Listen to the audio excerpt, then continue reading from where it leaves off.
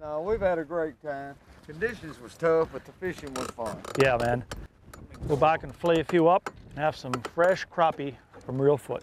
What we're going to do today is do a uh, regular southern type uh, dry cornmeal batter on these. Normally in the South, it's, it's traditional to have white self-rising cornmeal, black pepper, and salt.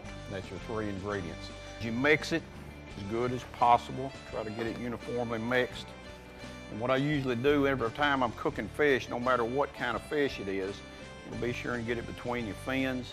I set it aside, and what happens is the moisture in the fish will seep up into the cornmeal and makes it a little crisper and makes it stick a little better.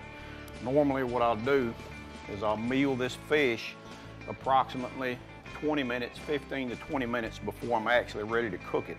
And that fish will actually look a little bit damp from the moisture that seeps out of the fish, fillet or the whole fish.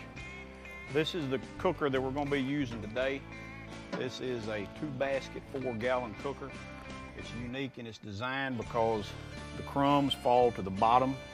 It has a heat chamber, as you can see there, in a horseshoe shape that allows the heated gas to go in, come out, and exhaust out the other end. What we'll do is we'll fire this up, let our oil get up to cooking temperature, which will be 350 degrees. Crappie is kind of a fragile piece of fish. Doesn't take long to cook. Say these are about ready. We'll drain them off. What better way to end a great day in the water with a good old fashioned fish fry?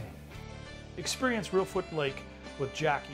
Give him a call at 731 431 9700. Krappie Kings Television.